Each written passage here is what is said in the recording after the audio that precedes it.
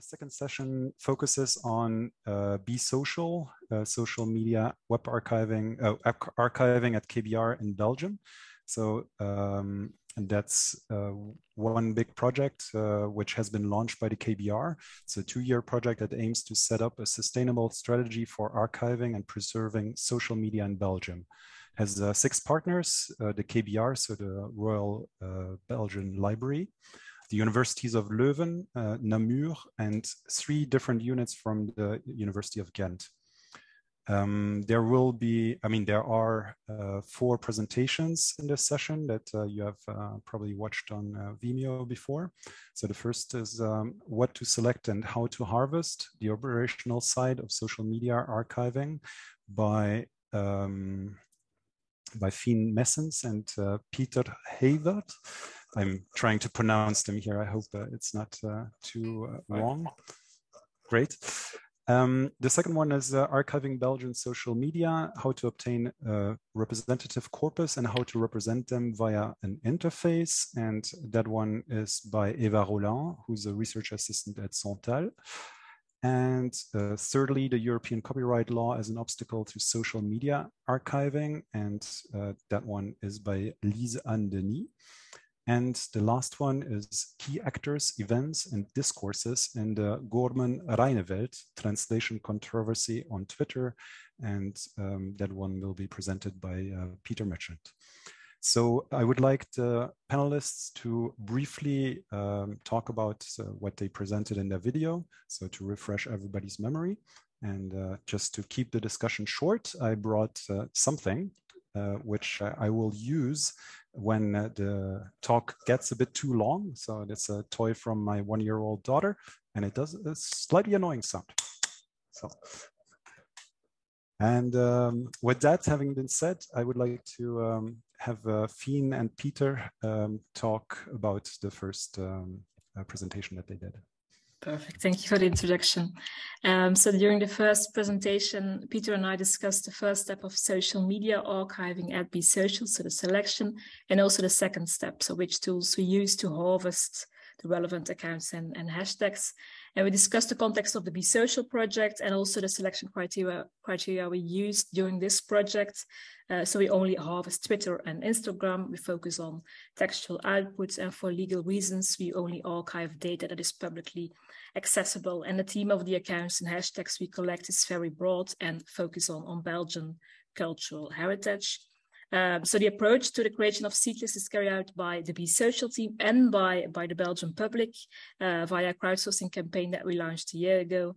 And in the process of archiving our corpus, uh, we used Social Feed Manager and Instaloader. And with the latter, we noticed problems as there is no official API to use, and this with the risk of being blocked if there were too too many requests. Uh, and we solved this by by mimicking human scrolling. Um, and yeah, we concluded that creating lists of accounts, seed lists uh, of hashtags was quite time consuming and also defining objectively what Belgian cultural heritage exactly is was also quite difficult.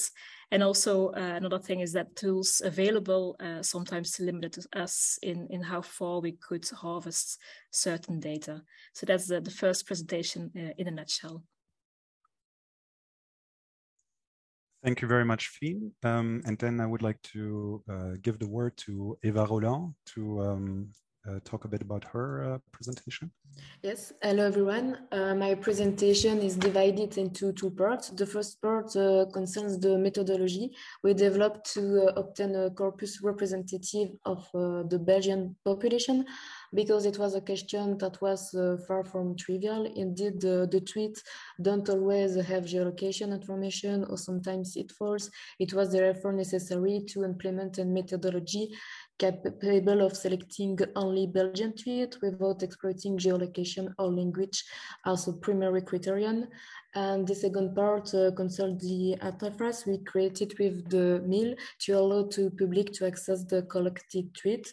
We had uh, initially chosen to use the Solar Wayback tool, but uh, we noticed that Solar Wayback was designed to archive uh, web pages and not social media. the Therefore, we integrated uh, basic and more complex uh, search functionalities into the tool, as well as various features such uh, as exporting results or generating graphs. Thank you. Thank you, uh, Eva. So uh, the next presentation was by uh, Denis, who's a researcher in uh, Namur. Hello, everyone. So uh, my presentation was about the application of copyright law to social media archiving and uh, mostly on how it can represent an obstacle uh, to this practice. So I mostly uh, highlighted the fact that this legal matter has difficulties to adapt to digital evolutions and uh, how it has not been taken into account enough uh, at the European level. And so considering uh, the amount of, of content from social media that is protected by copyright, so it can be either uh, text or images or videos, etc., um, it is actually almost impossible to, to archive it all without uh, benefiting from an exception to the copyright regime. Uh, because if we don't have an exception, we would have to ask for uh, the authorization of every owner of these copyrights prior to archiving the content, which is uh, impractical. And currently, the exception applicable to archiving practices, uh, which allows to ha avoid having to ask uh, the authorization, um, cannot be applied to digital archives because of a directive from 2001 that does not allow the extension uh, of the exception and uh, because this law must be uh, interpreted restrictively. Thank you, Lise-Anne. Um, and then I, lastly, I would like to give the word to Peter Mechant, uh, who's have a who has a very interesting topic and a very uh, sensitive one. So, uh, Peter. Hi. Uh, hi, all. Uh, thank you for having me here. So, um, our session was uh, actually not really part of our, our presentation was actually not really officially part of the social project. It was rather an outcome of an internship in the project uh, in which a master's student tried to investigate to what extent an archived Twitter data set about a societal event can actually be reused, reused or in order to determine or to outline the main actors, sub-events, and different discourses about that event. Um, so it was actually a case study on how social media data collection can support a, a digital humanities scholar in researching a societal event. And this simply by means of off-the-shelf or out-of-the-box uh, free or open source software. Um, our use case or his use case, uh, because a master student is named Ewout. So Ewout focused on what became known in Flanders and in the Netherlands as the Gorman-Rijneveld translation controversy. And I, I, will not go into the controversy itself. It basically uh, was a critique on the fact that people uh, from ethnic minorities are actually systematically uh, marginalized in, in contemporary Dutch literary fields. Uh, so what did what did Ewout do? He uh, used twarc to collect in real time, I think about 8,000 tweets about, about the debate. And then he tried to identify the key actors or the key groups in, in this debate uh, using NetworkX Python scripts and then visualizing uh, the network using uh, Gephi. Uh, in order to grasp key moments and the chronology of the events, he uh, created Tableau visualizations.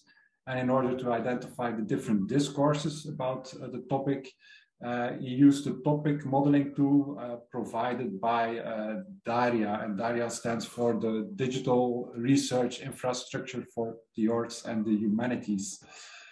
So uh, basically, the, the use case showed that discourses about the event range, ranged from outrage to disappointment to more nuanced debates about the choice of a suitable translator.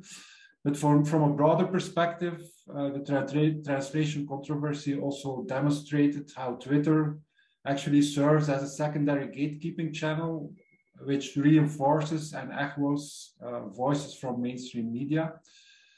Uh, finally, from a methodological perspective, I think the use case, this is, I think, most relevant for this conference, also actually shows that there are several social media analysis tools and even archiving tools uh, out there uh, that can actually be used by non-expert users, uh, such as, for example, humanities uh, researchers. Thank you. Thank you, Peter. Um, so uh, I uh, would like to remind everyone that um, you can post your questions in the Q&A tab, uh, which is at the bottom of your Zoom window. And uh, we'll get started with some um, general discussions. I would like to start with the technical uh, presentation by Fien and Peter. Um, I was uh, wondering why uh, you chose the tools that you chose. And I mean, you said you evaluated some different tools. And Uh, last uh, week we saw uh, Ilya present a new version of Browsertrix. Was that already some possibility when you did the evaluations or was your work started earlier than Browsertrix? Uh, I will take this one. So yeah, we okay. had um, so we investigated which tools were, were were available for the different platforms. So the first one that we focused on was Twitter because we started with one platform just to see how that goes. So we started with Twitter, and there we picked um, social feed manager specifically um, because it was open source. It's not closed source, so people who want to replicate what we do can actually use these tools um, the same way as we did. So that was actually one of the, the good reasons why we use it. And also the feature, of course, that it had. Um, it was um, easy customizable in the sense that you could just plug in your, your Twitter API details, and then it was easy to schedule the different things that you want to do, whether it's hashtags or or accounts or a combination of all these things. So actually the usability and the functionality and the fact that it was open source, so basically free, um, um, actually make it a perfect candidate to, to do that. And also from the presentation, um, we also highlighted it with the social feed manager itself. There were not real problems like compared to Instagram. Um, and that's mainly because you were we are able to use the Twitter API, um, but that's of course regardless of the tool. Um, for Instaloader, it was a little bit, um, or for Instagram, it's a little bit more uh, difficult because yeah, because there's no dedicated API it's harder for tools to be developed. Um, other tools that would would allow you um, to to get with Instagram data will have to rely on some type of crawling. Um, so there it depends on what is actively maintained because it's not because it was used or working two years ago that it's still working because Instagram also takes measures. I'm sorry against these um, types of scraping that we want to do. Um, and the one that you mentioned, the Browsertrix, um, at that point when we checked it, uh, we didn't see it, or it was not um, as um, well known maybe um, when we did our research there. I quickly checked it out, and it seems um, to be actually probably more feature rich than the Instaloader uh, there, and it's also able to run it in the cloud and everything. So it would be really interesting if we could compare um, what the advantages are of using one over the other, for example. That's definitely something worth checking out. I found it very interesting that you uh, chose to use uh, dedicated uh, tools for each platform that give you already the scraped content in the sense that um, uh, a tool like Browsertrix uh, produces WARCs. So the entirety of the website as it's presented to the user with the menu with uh, all the uh, the images and so on, which uh, you don't necessarily want to analyze if you're just interested in the user posted content. Um, was that a conscious choice directly from the beginning that you didn't want the full websites uh, with the replayability and that you only wanted the textual content uh, in your archive or was that something that you found that uh, there were better tools for um, using the API and uh, Instaloader, and the other thing wasn't even a possibility. Um, so we we checked also to have like the look and feel of the websites. For example, for for Twitter, we also investigated that. Um, of course, you're not using the Twitter API, so you will also bump into the restriction that they want you don't want you to crawl it um, using a bot-like system. I mean, the website is meant for users, so it's um, easier to detect when it's not a user.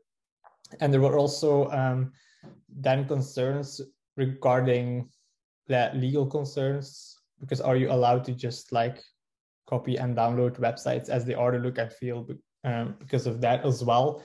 And technically, when we did some tests, um, like your harvesting was was um, interrupted far more often just because of the way that you're crawled and actually other websites and their and their tools. So it's something that we investigated. If you're if you're purely interested in the data itself, like the tweets or the images, then using an API or a tool that only cares about the contents, it's a better way because you don't um, run into the, the the obstacles that you get when you also want to have the whole look and feel of the the website. So it depends a little bit on the use case. There are definitely tools to do it, but if you want to have everything look and feel included, then you will have some more technical difficulties as well. Okay, thank you. Yeah, that's a very good point. Fien, you also would like to add something to this? Yeah, we also did a test case using KBR's, uh, the library's own social media platform, so Facebook, Instagram, and Twitter as a sort of case study to capture the, the look and feel uh, of KBR's uh, social media platforms. Uh, but yeah, in, so as, as Peter says, in, in a real pilot within the research project, the focus is put on, on harvesting texts and, and the look and feel is somewhat neglected due to to legal reasons around the whole look and feel. Um, and we use Conifer for, for harvesting that data, the whole look and feel from, from KBR's um, website uh, and social media. But yeah, this was quite time uh, in, intensive since Facebook always stopped refreshing their page um, after numerous time of scrolling. So that was quite of a hurdle. So we did some test cases with with uh, the look and feel for KBR social media. Okay, thank you. Um, and that brings me directly to a question for uh, Eva. Um, because you said that uh, you need to sort of find who the Twitter users from Belgium are that you should include and um, you uh, said that you also employed a machine learning model. Uh, can you talk a bit more about that? Uh, what uh, that model was and what you used to train it and what, because you said there were good results. I think that would be interesting for a lot of other libraries as well. Uh, yes, of course. Uh, as I said in the presentation, uh, we use the followers of Belgian celebrities account, and we then filter this list as it possible that there are followers uh, who are not Belgium. And to filter these accounts, we use a machine uh, learning model trained uh, with the in French, uh, XGBoost algorithm uh, based on certain characteristics. For example, the model will look at the percentage of tweets uh, written in the target language. Among the last uh, 200 tweets of the account, the number of URLs uh, coming from Belgium in the last uh, 200 tweets, etc. From this characteristic, it is able to tell if an account is Belgian or not. Okay, yeah, that sounds a very good plan. Um, yeah, I, th I, think that also answers one of the questions in QA by uh, Lyon, uh, by Megan Lyon, um, which was about yeah how to identify the the Belgian uh, uh, social media. So that just to be clear, this just worked with Twitter, or did you also? Okay, thank you. Um, I had another question. Uh, you said now that um, you have a target language. Was the target language just French, or was it also Dutch and German, which are other languages, uh, official languages of Belgium, or even English, which is probably also used uh, by Belgians? Yeah, there are no limitations regarding languages as long as there is a strong link with with, with Belgium. Um, so in the manually created seed list, a specific effort was made to include hashtags and accounts in German, Dutch, and French, so the national languages in Belgium, but also uh, English. Um, so yeah, all languages are welcome. Okay, great. Uh, and then coming back to Eva, uh, in your search interface, you showed an example with uh, économie circulaire, uh, so the French word for uh, circular economy, which brings me back to my question about languages. Uh, is there any way to also identify the English term or the German term or the, I'm, I'm going to try this one, uh, the kringloop-economie in Dutch. from the same, thank you, from the same query.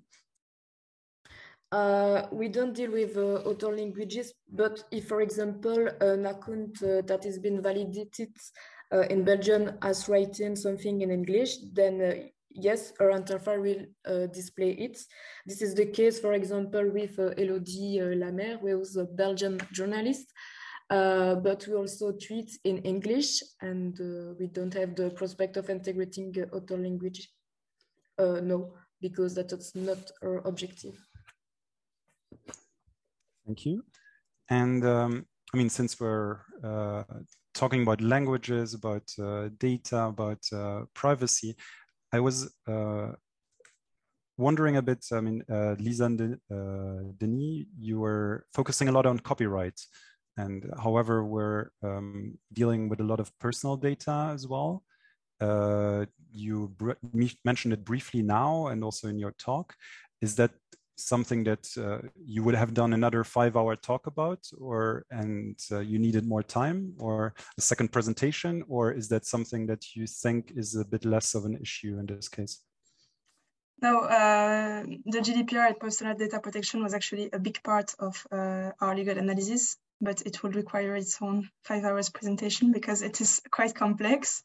Um, for this, I chose to, to talk about copyright because it is something that needs to be improved because currently it represents uh, an obstacle while uh, the GDPR uh, doesn't really.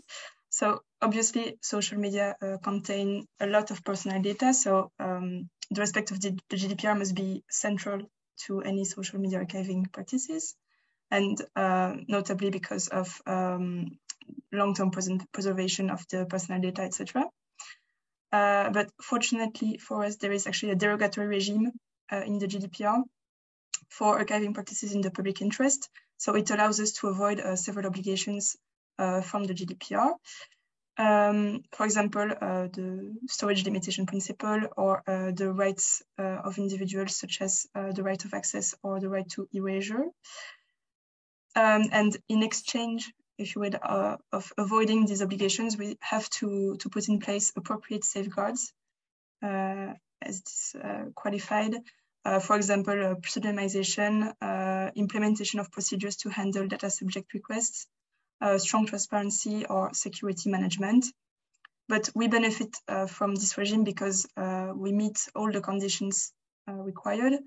But one of them is that the preservation of archives must be legally imposed. So it is not a derogatory regime that will be able to, to adapt to a lot of smaller structures that want to, to archive social media or any personal data.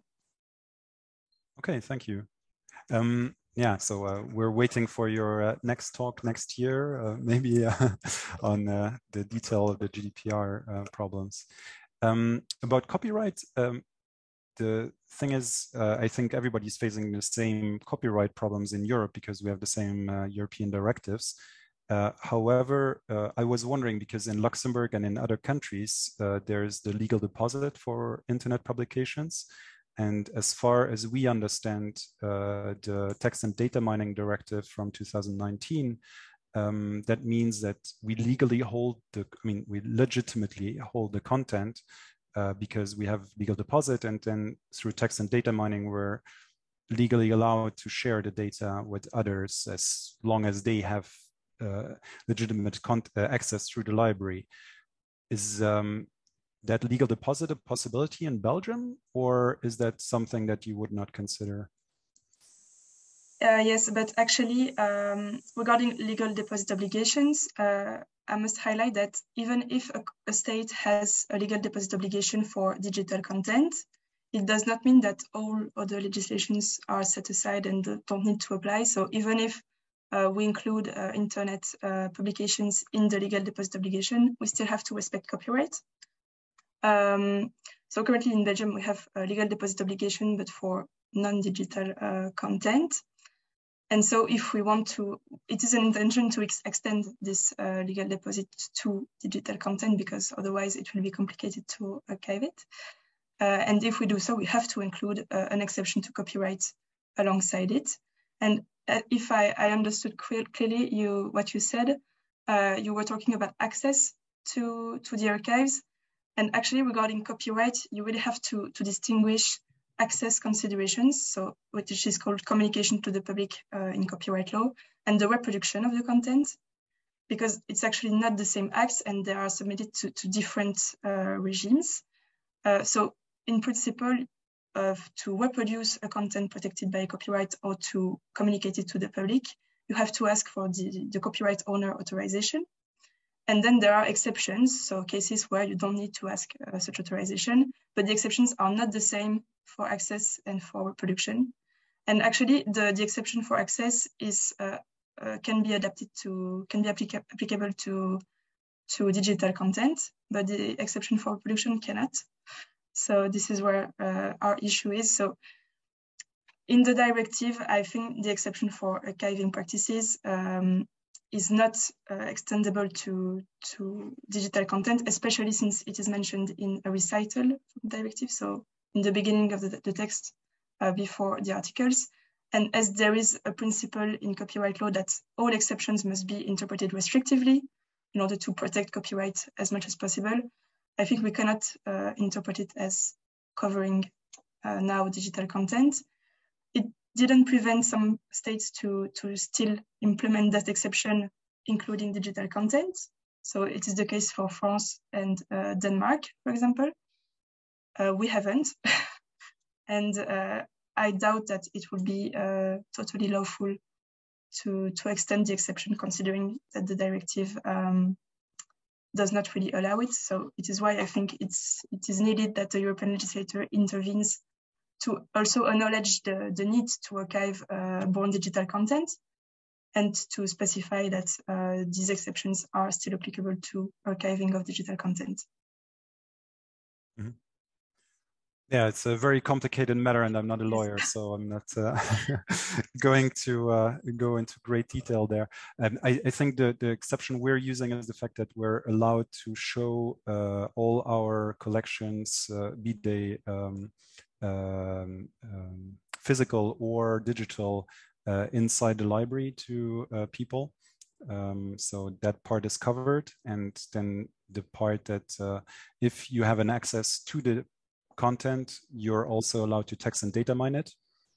So maybe it's uh, it's a bit broad. I don't know. It's like uh, yes, but technically you're not allowed to to reproduce the content from the the web. this exception is only applicable when you already have the, the, the content in your archives and then you can provide access, but yeah, it is complicated. yes, yes, it is complicated, yes. Sorry, I just muted myself. Um, so uh, I'm not going to ask uh, Peter uh, Mechant the same question about uh, whether it's uh, easy or complicated to legally uh, do the Twitter archiving that um, you did, but um, I was interested in the workflow that you have at the University of Ghent for such projects, because I'm assuming it's not the first project that you're doing with Twitter um, or social media, and um, you have this uh, twarc uh, JSON data set now. And I was wondering, are you considering it research data that your um, institution is preserving, or is it um, somehow transferred to the KBR as part of the future web archive? Uh, it's like, who takes care of the long-term preservation in this case? Yeah, uh, very good uh, question, Yves. Um, uh, actually, the, the master student, uh, did his, his master thesis at uh, the Catholic University of Leuven, so not at, at Ghent University. Uh, so my best guess is that his thesis, together with the archive JSON set, is stored in the yeah, in the institutional repository of that university. But actually, I should uh, check to make sure. If not, we will probably yeah, preserve it on, on SODHA, where we also uh, already preserved some other results of the project. So that is the Belgian Federal uh, Data Archive for Social Sciences and, and Humanities. And uh, that's a shared uh, federal system or? Yeah, indeed. Okay, oh, great. Um, which brings me uh, to uh, back to a question for Peter Heyvaert. Um, there's a question from Taras Nazaruk. Nazaruk um, he was wondering uh, if user interface context of where and how the tweets were posted, retweeted, and commented should also be archived. And uh, the um, tailor-made tools usually just um, archive the content itself, and whether like those interactions and comments should also be preserved. So you mean like whether a tweet is repost uh, retweeted or not? You mean? Yes, and uh, reactions to the tweet. I mean, if you're just archiving one person, somebody else might re react to um, it. Yeah, from from um, the things that is that is currently um, downloaded, for example, if you have a hashtag and someone does a retweet of a tweet and adds that hashtag, then you will see that it's a retweet, but it will not automatically like crawl the tweet of the retweet and and so on if it doesn't have that hashtag included or if it's not one of the accounts that you follow so if you would tweet something um, with the hashtag of this conference um, i can retweet that but if i exclude that hashtag then it will not be archived because I didn't explicitly mention that. Um, it will be, it, you will have a link between them, but it will stop there. It will not necessarily uh, do that. You would need to have um, like some special addition that you would say, okay, once you see something replying and it becomes a thread, keep harvesting the thread as well. So that would need some addition, but technically, of course, it's possible and it should be definitely possible with the Twitter API because you get the IDs of the tweets and so on. So it should uh, be technically possible to actually follow like the conversation more or less if you want to. Okay, thank you. Um, yeah, I have to say there that uh, we as the National Library of Luxembourg tried to get an API access, and I think maybe we're not the only ones. And uh, Twitter refused um, to give us the API access. Um, it probably also depends on which person at Twitter is responsible for answering your request or something. But um, since uh, for both of your use cases, uh, I mean, uh, it worked, or like I don't know how many Twitter uh, fee, Twitter API accesses you had uh, during the Be Social project. Um, would that be something that you would be maybe willing to share how you did the application? Uh, it's like the justifications that you added uh, maybe that's for both Peters. Or... Um, actually, the student, the master student, uh, didn't use a, a, researcher account, just and the data set he collected was also very small, uh, so it included, I think, nine thousand tweets. That was it. Ah, so no uh, API access was request uh, required. Yeah, he had one, but not on a research level. Okay. okay yeah for the one where we did like the all the hashtags and accounts that Fien mentioned we did have a we did have a application for like a twitter app that they would call it and there we mentioned that it was for research and that was for a limited time um, so that might help in the sense that they know that it's for research purposes and not for commercial purposes and it's also for limited times it's not that you want to store them forever or keep harvesting forever um, as well. You will still have limitations in the sense that you cannot do a million tweets a minute. So they will also complain. But like you would still need to spread it out as well. And the social feed manager allows you to um, include multiple um, like credentials. So if you have multiple accounts or got multiple applications for the Twitter API, you could spread it and actually um, distribute your requests for harvesting across these different credentials so you don't hit the limitations um, as well. But again, you still have to get like the access for your app um, for that. Um, yeah, that's a very interesting point. I mean, if uh, yeah, you you want to select uh, so many things that uh, you're not allowed to uh, by the platform, and in that sense, it's uh, um, the social media pose a challenge because it's the content of the users that's actually locked up and controlled by the platforms uh, and we don't really have access to it anymore and the users don't either um, there was a question in the chat and uh, about well copyright or i don't know it's like a yeah i think it's copyright uh, by Catherine Waynes. Uh, so I think that's uh, one for you, uh, Lise-Anne. Um, what about the rights of the social media platforms themselves? I think this is not an issue in the current project because you didn't really get the social media look and feel like the logos and images and so on. But um, the question was, how big is the risk that institutions uh, that archive with look and feel will get a copyright claim uh, from the platforms?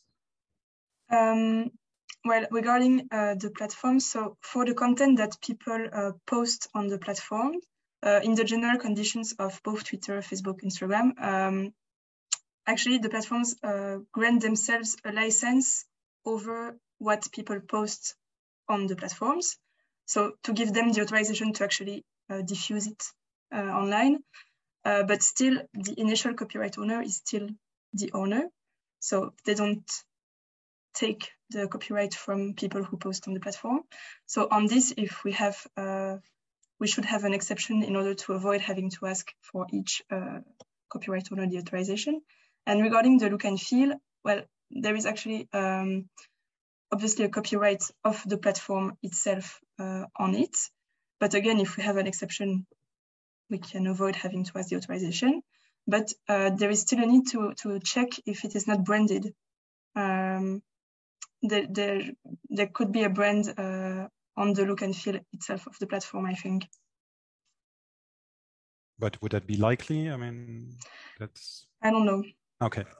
yes, I mean, uh, you're also not now uh, obliged to be the, the official lawyer of the whole of uh, the European IIPC. but knowing uh, Twitter and Facebook, I think it is likely that there is a brand. Okay. Um, let me just continue with a question from Ricardo Basilio. Um, in the case of arquivo.pt, some Twitter accounts, uh, for example, official government accounts, uh, are recorded without logging in with a crawler. Uh, so with Browser in their case, uh, which it's basically just um, an emulated browser, to ensure that they are collecting only publicly visible content. Um, they are made available like any other website in the archive interface of arquivo.pt, which is publicly available on the internet. And um, he was wondering, how do you see this practice in light of your research on European directives?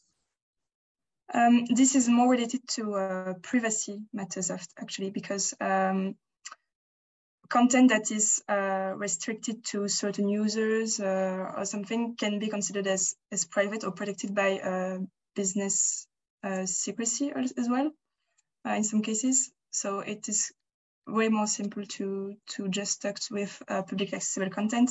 So for privacy uh, matters, especially, um, I don't think I don't think it's, it's a good idea uh, to go into much details, but basically you have the right to privacy of people that must be balanced with the right to information of people. And if they published the information privately, it will be less likely to enter the right to information. It's it's very complicated to enter into details uh, in a few minutes, but yeah, for all legal reasons, it is way more simple to to only collect what is publicly available. Um, in that sense, uh, I think we all, as members of IIPC, and especially those uh, who are based in Europe, we have very similar challenges because, uh, at least in Europe, we have the common directives in all the countries. Even though the, the law might be different in special points, do you see uh, your work directly applicable in other countries in Europe, or do you think that uh, there should be, uh, I mean, a legal analysis uh, for every country that is done on its own? Uh, well, regarding uh, privacy issues and the GDPR, it is obviously applicable throughout uh, Europe. For copyright, uh, I've made an analysis, analysis of the European directives, but also I've adapted it to, to what has been actually implemented in Belgian law. So for copyright, it must be more, um, um, so each member state must go more in depth uh, as to what is actually adapted in international law, but yeah, for privacy and GDPR, it is the same. Well, that would also be uh, already super interesting for everyone if uh, we would have a I mean, a, a solution or at least uh, guidelines for what we can do and not do with web archives for uh, GDPR reasons. That would be uh, super interesting. So thank you. Um, I have a, well, we have five minutes left, so I would like to uh, take some more questions from the audience. Um, I have a question from uh, Rus uh. Um, with Twitter being bought by Elon Musk, do you anticipate it becoming more difficult to do what you did in the future, such as the complications you had with Facebook, which is why you didn't include that platform in the Be Social project? So I don't know who wants to take that one. Uh, maybe uh, Peter or Fien or the other Peter uh, from a technical point, um, well, if they if yeah, if they decide to to um, shut down the API, you get like in the in the same boat as with Instagram that you will have to resolve the scraping. So that would be the first step. Um, that would raise some red flags to to people who want to use the data of Twitter. So it, but for Twitter, it mostly depends on that. Um, how easy will it be to get access? I mean, maybe you still get access, but you will have to jump through a lot of hoops to actually get access.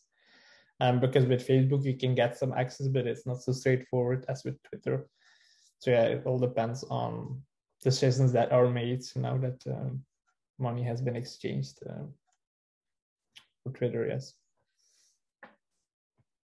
Okay, thank you. Um, I have a last question from the audience that I would like Fien to uh, answer. Well, you're starting to type in the chat, but uh, maybe you can still answer that one live. So you mentioned it uh, from Claire Newing. Uh, so you mentioned in your presentation that you attempted to crowdsource nominations. Did you receive many nominations and mm. were any particularly surprising? Yeah, so at the beginning of May, we had around several several suggestions by the, the Belgian public, which is I think quite okay since it was the first big crowdsourcing campaign for KBR.